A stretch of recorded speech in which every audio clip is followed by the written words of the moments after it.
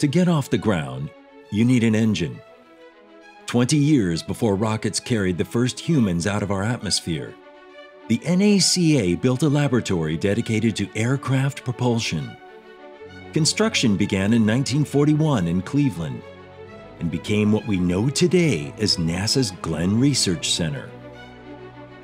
The focus on piston engine performance during the war evolved into testing some of the nation's first jet engines, improving turbojet and ramjet designs in the 1940s and 50s. Researchers at the lab advanced aviation safety, expanded the NACA's award winning icing research, and developed crash fire prevention and passenger restraints. In the atomic age, it was in Ohio that the NACA investigated nuclear propulsion systems for aircraft and rockets. Beginning in 1958, the lab applied its aeronautics expertise to space. High energy propellant research led to NASA using liquid hydrogen in most upper stage rockets and the Space Shuttle.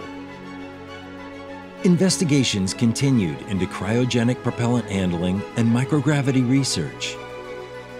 In 1962, the center became responsible for the Centaur rocket program. It sent the Surveyor spacecraft to the moon, launched probes to the outer planets, and placed scores of satellites into orbit.